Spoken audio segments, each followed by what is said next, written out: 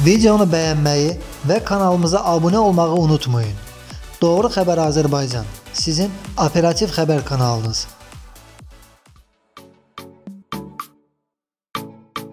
Sabiq Nəqliyyat naziri Ziya Məmmədovun qardaşı oğlu Arzuman Məmmədovun Bakıda restoranların birində toyu baş tutub.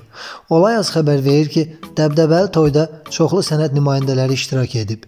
Belə ki, Türkiyəli müğənni Alişan, xalq artisti Röya Ayxan, əməkdar artistlər Sevda Ələkbərzadə, Abbas Bağırov və müğənni Zamiq Hüseynov çıxışları ilə məclisə şənlik qatıblar. Tədbirin aparıcısı isə Leyla Quliyeva olub. Toydan çəkilmiş foto görüntüləri sizlər üçün də təqdim edirik.